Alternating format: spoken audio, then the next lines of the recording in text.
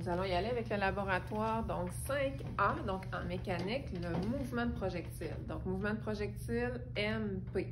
Donc, euh, un petit changement, donc avec le mouvement rectiligne uniformément accéléré, parce qu'il faut séparer, donc, notre mouvement rectiligne uniformément accéléré en X, en variation en X, et en variation, donc, finalement, des Y. Fait qu'on va intégrer, donc, aussi, donc, un peu, donc, les vecteurs.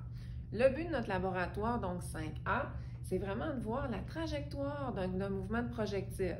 Fait que si, admettons que je joue au tennis, donc j'ai à lancer donc une balle donc, euh, de tennis, ou si je joue au ping-pong, je vais à la chasse, donc euh, je tire donc ma balle de fusil, ou je fais du tir à l'arc. Donc, quelle trajectoire que ma flèche, que ma balle, euh, que ma boule, que mon ballon, admettons, donc de soccer, donc va parcourir, ou ma balle de golf. Fait que si on a fait un petit plan, donc on a incliné ça pour qu'on puisse donc voir, on l'a incliné tout simplement pour représenter donc l'attraction donc gravitationnelle que la balle qu'on lance, que le mobile qu'on lance est attiré vers le bas. Et on a mis un petit plan incliné donc ici, juste pour donner une accélération. Fait qu'on va aller voir donc finalement donc qu'est-ce que ça donne. Fait qu'on voit là que ma petite bille, youhou, donc je l'envoie elle suit donc une trajectoire. On va aller dessiner donc cette trajectoire-là avec mon crayon.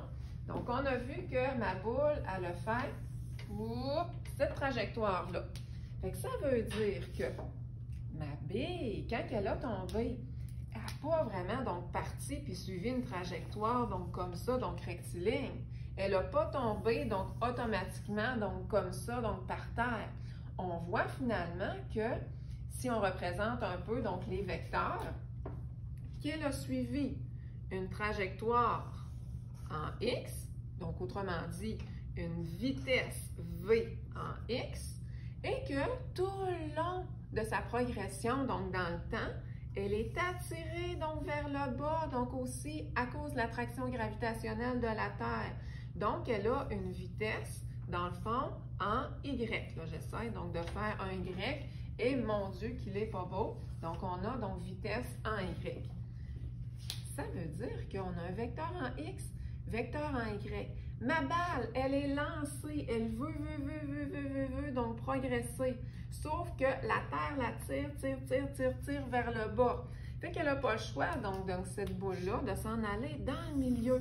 Ça, ce qu'on appelle l'addition, donc, de vecteurs. Finalement, ma bille sa vitesse, donc sa trajectoire, donc va s'en aller donc entre les deux. C'est comme le rassemblement donc des deux vecteurs, c'est l'addition vectorielle du vecteur en x et du vecteur en y. Tout ce qu'on a à retenir ici dans le laboratoire, donc 5A, c'est que la trajectoire d'un objet qui est en qui est un, mouvement donc de projectile, qui est lancé ou qui est garoché ou qui est projeté ou peu importe, là, prenez le mot que vous voulez, c'est que la trajectoire va faire une espèce donc, de courbe qui va descendre. Fait que ça, c'est pour notre laboratoire, donc 5A. Je refais une autre petite vidéo, donc juste à côté, donc pour mon laboratoire 5B. à suivre.